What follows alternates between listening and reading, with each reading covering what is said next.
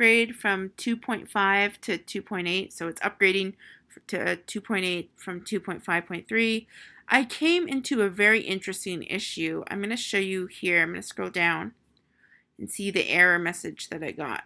It said something about failure to retrieve the Dart SDK from storage.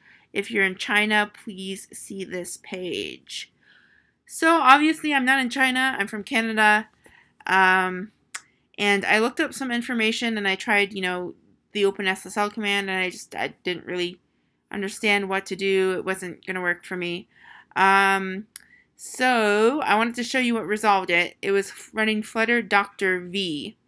Um, and this resolved the issue and I'm going to show you now in my command terminal that everything is okay again by just closing out a terminal here.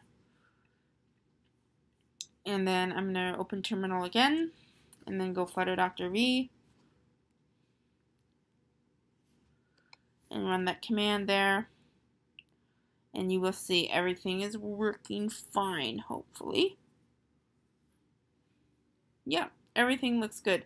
So yeah, if you get that weird issue about China, um, if you're not in China, I would highly suggest running Flutter Doctor V. Anyways, have a good day. Thank you for watching. Bye.